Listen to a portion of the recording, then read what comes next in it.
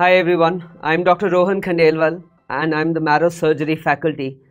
Some of you know that I'd also recorded the Marrow 3.0 version and now with Marrow 4.0, I first want to highlight what are the changes in the surgery module so that I don't want you to get disturbed and tensed about the changes. These changes have been made for your benefit, right? So my first thing which I want to highlight in this video is what to expect in Marrow 4.0. What to expect in 4.0 surgery. Right, so what are the changes which we've made? We have recorded close to 60 to 65 hours of video. This is an increase of almost 8 to 10 hours as compared to last time. And this increase has happened because there have been a lot of updates and changes with the new Bailey edition coming up, new guidelines coming up, there have been changes there. Now, I know that some of you have seen the old videos and some of you are tensed regarding the changes, but you have to understand that in life, change is a constant thing, right? And you need to embrace change. Don't get scared of change and don't just settle down. So the only thing which settles down is dust. But you want to keep on moving and evolving because this is for your own betterment, right? So 60 to 65 hours of lectures. At the end of all modules, all modules, I have added two things. At the end of all modules, I have had added some questions for quick revision.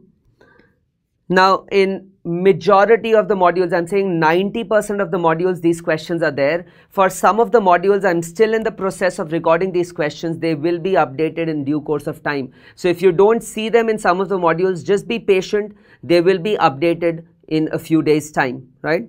So questions are there at the end of each module. How do you at attempt these questions? So once you've listened to the entire lecture, then when you see the question, I want you to pause the video, First, solve the question in your mind and then you play it and see the answer. That's what I want you to do. The second thing at the end of every module is a special two minute session for the final year students where I have told in each module what is important from the what is important from the professional exam point of view and the practical exam point of view in every module I have highlighted that as well. Okay. Again, for some of the modules this might be missing, it will be added. So be patient there. Of course, I've also added some pictures which I like to click at the end of some modules or in the middle of some modules. This is just one of the examples. This was a tiger by the name of Arrowhead and I clicked this picture at Ranthambore it was known, known as arrowhead because there was an arrow mark on the tiger's forehead. And let me tell you a simple thing. It took me at least 200 shots to get this picture right. Right? There were a lot of blurred shots. There were a lot of shots where I could only get half the tiger. But finally, because I wanted to get this picture, I was persistent and I was patient. I managed to get this picture. So that is what I want you to be when you are attempting the marrow surgery modules and when you're listening to the videos. Be patient. Gradually, you will grasp the concept of surgery and you will find it interesting in due course of time. It is a high yield topic, so don't ignore surgery at all.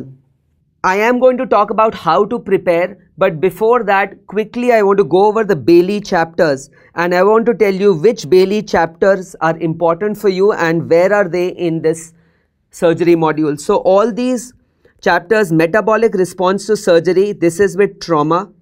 This is in the trauma module, the basic trauma module. Shock and blood is a separate module on itself. Wounds is with plastic surgery module. Wounds is with plastic surgery module. Surgical infection, there is a separate module for surgical infections. Tropical infections and infestations, I've covered all throughout wherever there was an opportunity.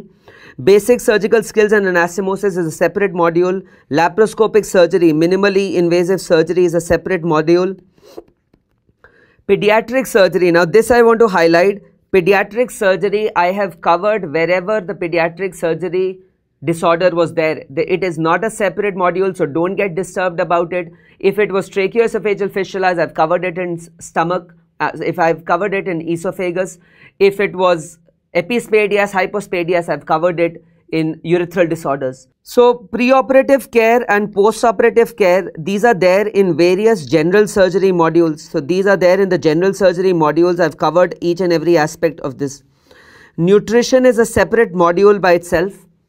Trauma, I've covered each and every module separately. So these you should know. Also the ones, you can save these images, the ones which I have highlighted for final year students, you should read these chapters from Bailey and you should first watch the videos and then you should read the chapters. It's going to become really easy for you. Again, all the trauma chapters I've covered separately as separate modules. Orthopedics has been covered beautifully by Dr. Abbas. Skin and subcutaneous tissue, this is a separate module. Burns is a separate module. Plastic surgery is a separate module. Okay. Cleft lip, cleft palate is with plastic surgery only. Is with plastic surgery. Pharynx, larynx and neck. There are neck swellings which are there in common swellings module. So if you don't find them elsewhere, they'll be in the common swellings module. Okay. Oral cavity is a separate module. Salivary glands is a separate module. Thyroid, parathyroid, adrenal, breast, separate modules. I want to highlight that in adrenal, I have also covered neuroendocrine tumors, that is carcinoid tumors. So when you're searching for carcinoid tumors, search this module for carcinoid tumors, please. Vascular disorders, all are separate modules which I've done. All the abdominal modules are separate. All abdominal surgery modules are separate. I've done them. All urology modules have been done separately. Okay. Transplant is a separate module altogether. So this is one thing which I wanted to highlight that I've covered everything, but I just wanted to highlight where these modules would be present in the Marrow 4.0 recordings. Now, coming to people who are preparing for the entrance exam, how are you going to approach Marrow 4.0 surgery? So, my request to you would be to watch videos, would be to watch the videos and solve the Marrow Q bank.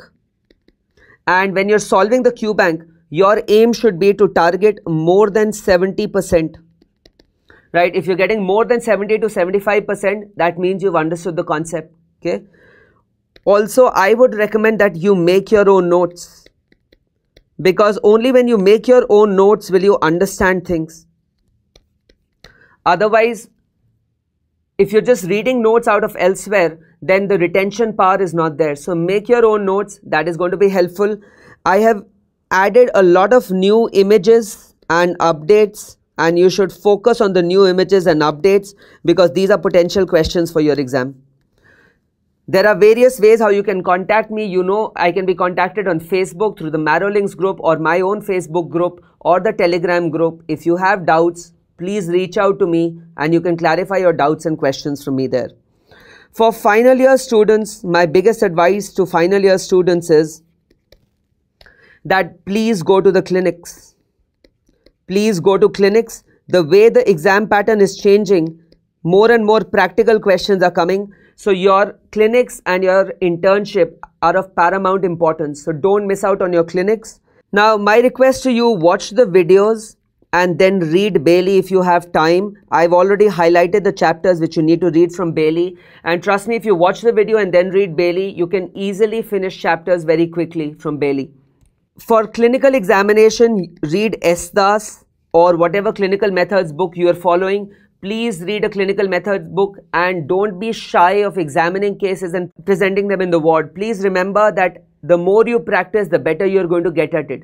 Don't be afraid of getting things wrong and don't be afraid of failure. When you're a final year student, you have everything to learn and failure should not deter you. Also for final year students, the MCQs given at the end of every video module are enough for you. If you don't have time, don't do the Q bank right now. You can do it during your internship. Focus on building your concepts. And also please, the videos are enough. Videos are enough for your professional exams. And uh, at the end of each video, I've already told you that two minutes I've devoted in telling you what are the topics important from that module for your professional exams right? So this is how you should go about it. Again, make your own notes because these notes are going to be helpful for you in the future as well. Now, finally, I would just end by saying that show some love to surgery, show some love to surgery and enjoy the surgery videos. I've added some interesting videos and interesting demonstrations to make surgery more interesting for you and I would love your feedback on those techniques as well. Hope you enjoy the Surgery 4.0 Marrow modules.